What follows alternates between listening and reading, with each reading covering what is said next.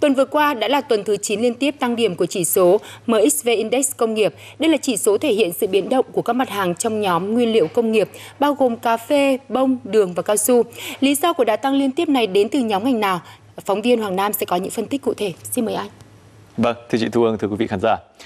Đóng cửa tuần ờ, giao dịch vừa qua thì chúng ta có thể thấy rằng giá của hai mặt hàng cà phê đang được giao dịch liên thông với các à, sàn hàng ờ, trên thị trường quốc tế thì đều tăng mạnh đã giúp cho chỉ số MXV Index công nghiệp tăng gần 3% lên mức là 1.390,27 điểm. Nếu chỉ tính riêng hai mặt hàng cà phê thì giá trị giao dịch thông qua Sở giao dịch hàng hóa Việt Nam trong tuần trước đạt gần 200 tỷ đồng mỗi phiên, tức là chiếm đến gần 15% tổng giá trị giao dịch của toàn thị trường.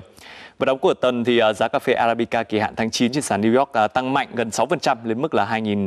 2.802 à, đô la Mỹ cho một tấn. Trong khi giá cà phê Robusta kỳ hạn tháng 9 trên sàn London cũng tăng 3% lên mức là 1.522 đô la Mỹ cho một tấn và là mức cao nhất kể từ đầu năm cho đến nay. Và để hiểu thêm về diễn biến của thị trường cà phê thế giới tuần qua thì bản tin đã có cuộc trao đổi với ông Dương Đức Quang, Phó Tổng Giám đốc của Sở Giao dịch Hàng hóa Việt Nam.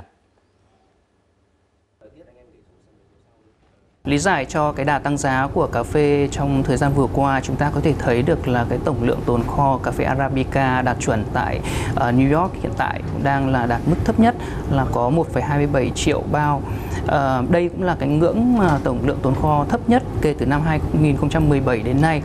Uh, cũng như là cái xu hướng giảm giá à, giảm cái lượng tồn kho từ đầu năm rất là mạnh đến nay thì uh, cũng tương đồng với cả cái mức uh, tăng giá cà phê ờ, vì là cái lượng tồn kho cũng là một cái yếu tố rất là là là là quan trọng ảnh hưởng đến cung cầu của cà phê trên thị trường. Đối với xu hướng giá kỹ, kỹ thuật của cà phê Robusta giao dịch tại London uh, thì có cái xu hướng tăng từ đầu tháng 7 đến nay cũng rất là tốt và cái xu hướng này cũng chưa có dấu hiệu dừng lại. Uh, tuy nhiên thì cái đà tăng này cũng sẽ gặp phải cái ngưỡng kháng cự kỹ thuật rất là mạnh tại ngưỡng là 1.500 uh, đô la Mỹ một tấn và cái ngưỡng này à, hiện tại bây giờ cũng sẽ là một cái ờ, một cái câu hỏi cũng như là một cái thách thức ờ, cho cái biến động giá cà phê trong những tuần tới và cũng hứa hẹn những cái phiên giao dịch rất hấp dẫn. Quay trở lại với thị trường cà phê trong nước, xu hướng tăng của giá cà phê Robusta thế giới đã giúp cho giá cà phê nhân sô tại Tây Nguyên và các tỉnh Nam Bộ tăng thêm 400 đồng trong 1 kg so với tuần trước và hiện đang giao dịch ở quanh mức là 33.600 đồng trong 1 kg.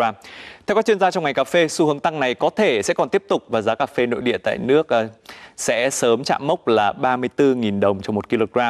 Và giá cà phê xuất khẩu FOB tại thành phố Hồ Chí Minh đang chào bán ở mức là 1.564 đô la Mỹ cho một tấn với giá trừ lùi ở mức là 135 đô la Mỹ cho một tấn. Theo Sở Giao dịch Hàng hóa Việt Nam, dựa vào số liệu xuất khẩu nửa đầu tháng 8, thì lượng xuất khẩu cà phê của nước ta ước à, cả tháng 8 có thể đạt gần 100.000 tấn, ờ, thấp hơn khoảng 14% so với tháng 7. Tuy nhiên các nhà đầu tư mặt hàng nông sản cũng không thể bỏ qua yếu tố thời tiết bởi sắp vào chính vụ, cây cà phê tăng kích thước hạt nên ảnh hưởng thời tiết rất quan trọng đối với sự tăng trưởng của cây. Và theo Trung tâm Dự báo Khí tượng Thủy văn, 10 ngày tới lượng mưa ở Tây Nguyên tăng hơn mức trung bình, hứa hẹn một vụ mùa bội thu và đây sẽ là yếu tố cản đà tăng giá cà phê trong thời gian tới.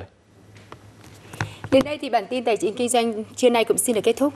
Cảm ơn quý vị và các bạn đã quan tâm theo dõi.